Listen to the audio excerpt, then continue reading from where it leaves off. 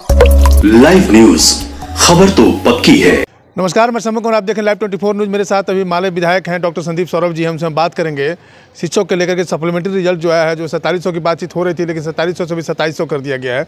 Sir अब सत्ताईस result निकाला गया विद्यार्थी करेंगे धोखा हुआ है। धोखा हुआ है गलत हुआ है और सरकार ने बिहार विधानसभा के अंदर जो जवाब दिया है मेरे सवाल का जी जी।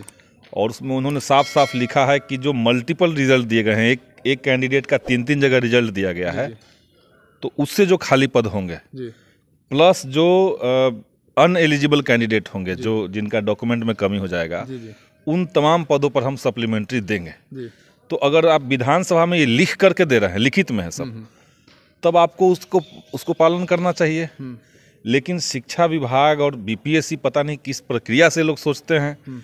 शिक्षा विभाग ने केवल सैंतालीस सौ रिज़ल्ट का कहा बात अब ये लोग उसमें भी सत्ताईस सौ निकाल रहे हैं। तो ये गलत है और कई सारे ऐसे अभ्यर्थी हैं जिनका कट ऑफ़ से ऊपर ज़्यादा अंक है।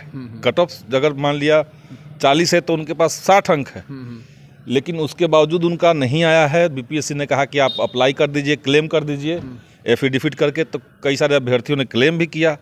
तो उनका हम उम्मीद कर रहे थे कि सेकेंड लिस्ट में उनका आ जाता। सप्लीमेंट्री में वो भी नहीं आया है। तो सरकार को इस पूरे प्रक्रिया को देखना समझना चाहिए। और बीपीएससी और शिक्षा विभाग से बात करके छात्रों के साथ न्याय होना चाहिए। तो ये संभावना जब आप सवाल कर रहे हैं विधानसभा आप लोग की अंदरूनी बात होगी।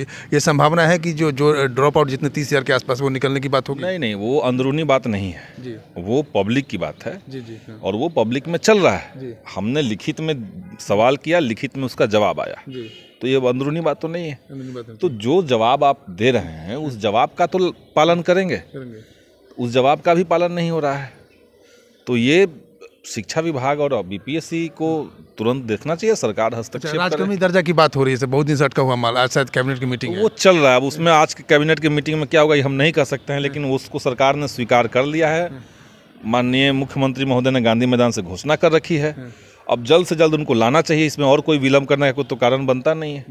तो हो सकता है कि आए। अच्छा, एक लास्ट सवाल है सर जो बेगूसराय से और इधर सीतामढ़ी तरफ़ से बहुत सारे विद्यार्थी जो अभी नवनियुक्त टीचर बने हैं वो रिजाइन मार रहे हैं। तो बहुत सारे कारण है कि जो उनको नौकरी ऑप्शन मिला लेकिन के के पाठक का भी दुहाई दे रहे हैं। देखिए अब जो नौकरी जिनको दिया गया है अब महिलाओं को आपने भेज दिया है 400 किलोमीटर दूर गाँव में।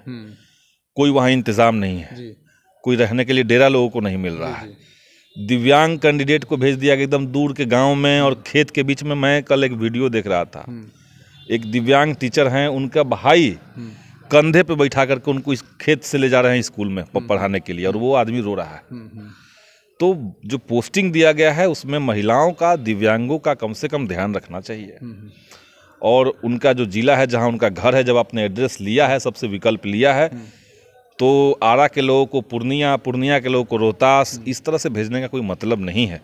ये सिर्फ़ शिक्षकों का उत्पीड़न है, और के के पाठक ये जानबूझ के कर रहे हैं। के के पाठक जानबूझ तो ये आपने सुना डॉक्टर संदीप सौरभ को जिन्होंने कहा कि के के पाठक ने जानबूझ के जो ट्रांसफ़र वाली बात है पूर्णिया से पूर्णिया से भेज दिए सहरसा या सहरसा से भेज दिए बक्सर है जहाँ भी भेजे हैं तो इसमें दिव्यांग दिव्यांग जो टीचर हैं उनके ऊपर थोड़ा सा रहम करना चाहिए क्योंकि वो ऑप्शन जब दिए थे तो उनके ऑप्शन का पालन होना चाहिए और कहीं ना कहीं ये प्रताड़ना हो रहा है शिक्षक के साथ दिव्यांग शिक्षकों के साथ। मैं शंभू कुमार पटना।